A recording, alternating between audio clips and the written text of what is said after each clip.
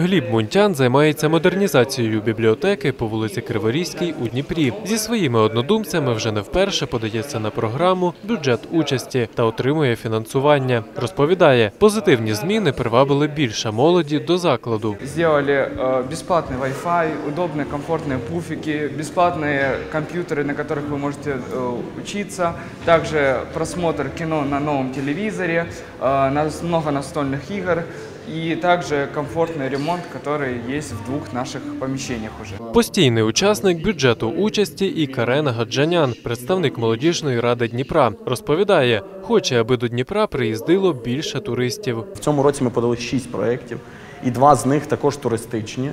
Це встановлення по центру міста туристичних е, стрілок, значки, які показують, де що туристичне знаходиться в центрі міста або в історичному ареалі. Також в цьому році ми подали парклети, встановлення таких е, місць відпочинку в центрі міста.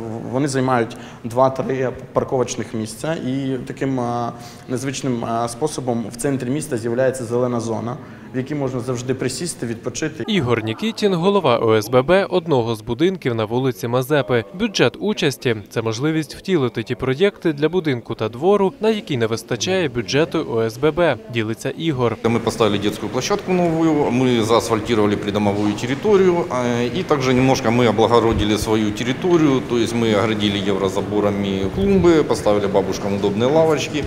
А, То есть, э, в принципе, нам удается за счет бюджета участия сделать то, что мы не можем сделать за счет э, других конкурсов по софинансированию ОСББ. Ігор один зі спікерів форуму авторів та активістів бюджету участі. На заході учасники діляться досвідом та розповідають про свої напрацювання. Завдяки вам і вашій наполегливій праці, і тим тортурам, які ви проходите зараз під час голосування, але ви маєте таку можливість реально притягнути кошти до своїх мікрорайонів. Ольга Худа, співавторка трьох проєктів по вдосконаленню подвір'я по вулиці Гладкова. Там мы хотим просто под спортивными турниками установить резиновое покрытие, потому что там грязно и дети не могут заниматься спортом. Продолжение нашей как бы, прошлогоднего проекта была дорожка в школу. Сейчас у нас будет дорожка с- со школы.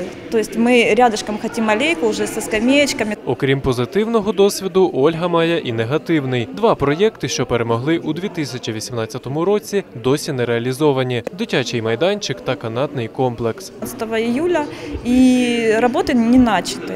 Хотя нам как бы все, в принципе, действия от департамента начались еще в марте месяце.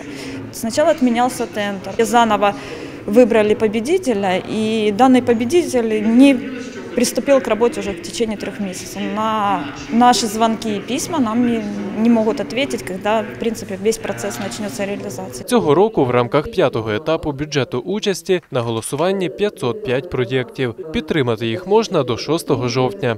Владислав Яценко, Дмитро Большак. Новини 9 каналу.